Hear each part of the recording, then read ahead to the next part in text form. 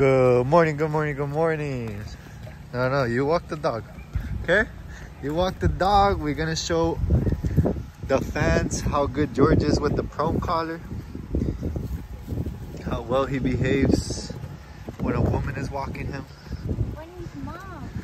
For your information, guys, George is exactly 126 pounds. We weighed him out like two days ago. Took him to the vet. 127. My girl's 127, so yeah, they're basically same weight right now. Does that mean this guy's not under control, bro? We're gonna have a problem. Well, she's gonna have a problem. I could still control him. I got like 50 pounds on this guy, something like that. But yeah, guys, as you can see, we had to start using the prone collar. Doing very good with it. As soon as it goes on, he literally starts behaving better.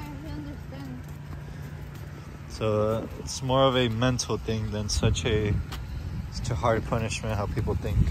So you have to change the title. Woman can can own a Cane Corso with a prong collar. All right, I guess so.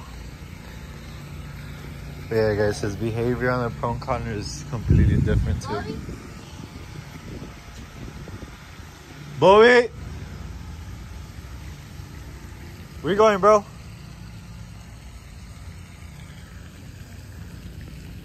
Yeah, guys, if you're having problem with your dog pulling on the leash, definitely recommend it.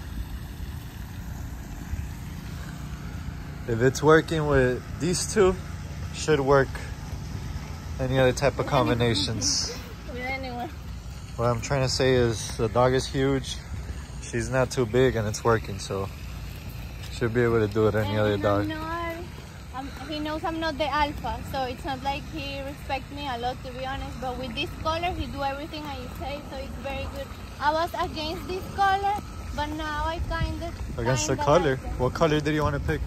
The color, color. The collar? El collar. The collar. Say it. Color. Collar. Like a color. Instead of Like a collar, color. collar. Yeah, the but in, collar. in America, everything sounds the same. Color, color. But yeah, guys, prone collar or color.